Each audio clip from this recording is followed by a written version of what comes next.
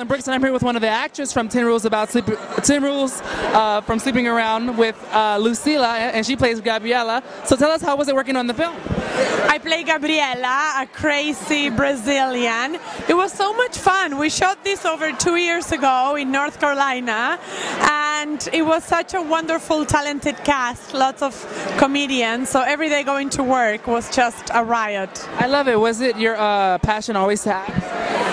I love acting, especially comedy. I guess I was always performing and being kind of trying to be funny since I was little, I guess. So it's fun that life turns out this way and you get to do things that you love, and that includes hopefully making people laugh. I love it. So, coming from the crazy Brazilian, give us three things that we rules that we should know about sleeping around. Top three. Top three rules for sleeping around. For sleeping around. Wear a condom if you're gonna sleep around.